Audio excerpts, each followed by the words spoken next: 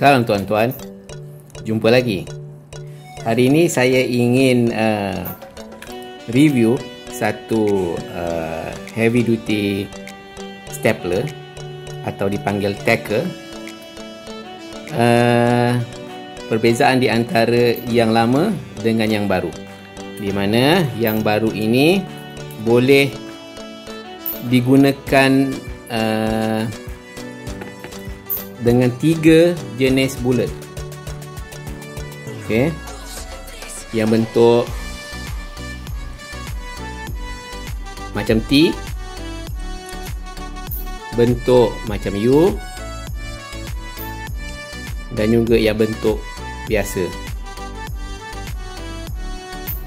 Ketiga-tiga bullet ini boleh digunakan dekat uh, tacker yang ini dan uh, tacker yang lama hanya boleh menggunakan satu bullet saja iaitu jenis yang ini.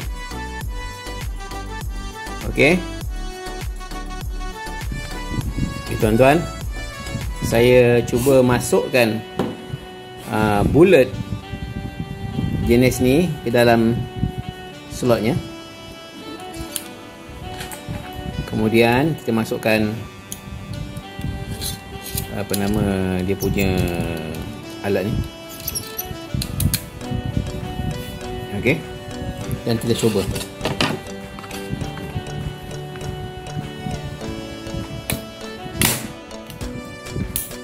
Okey nampak tu tuan-tuan? Hmm. tengok lagi sekali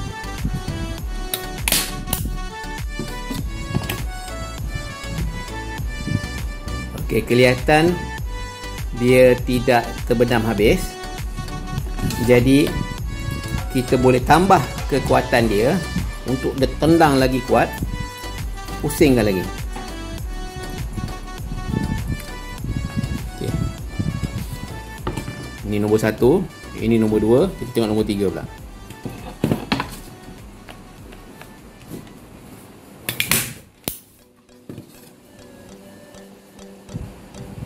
Nampak?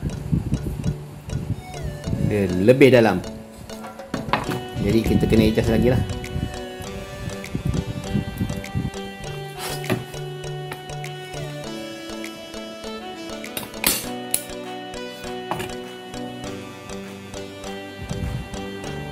Ha.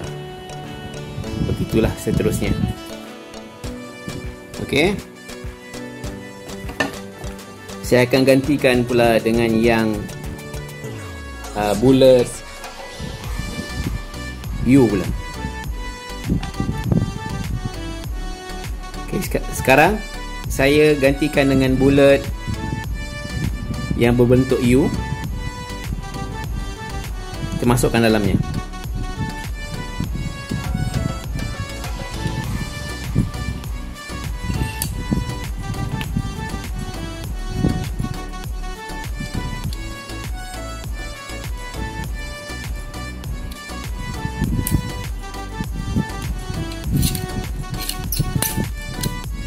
Okay.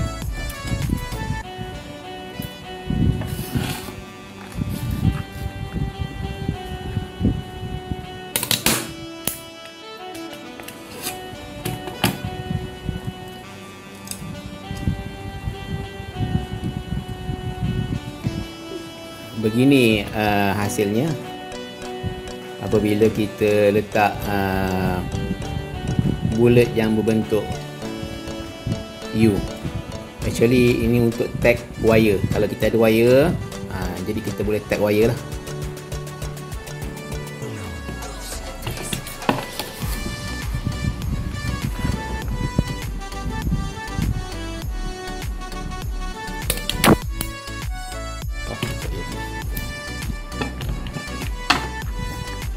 Bifala.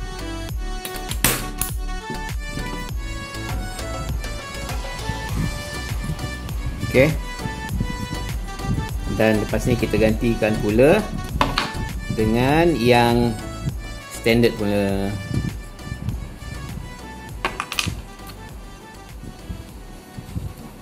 Okey, panjang uh, bullet T ni uh, lebih kurang dalam uh, 10 mm lah. Dan plywood ni lebih kurang 4.7 4.8 jadi dia boleh tembus lah.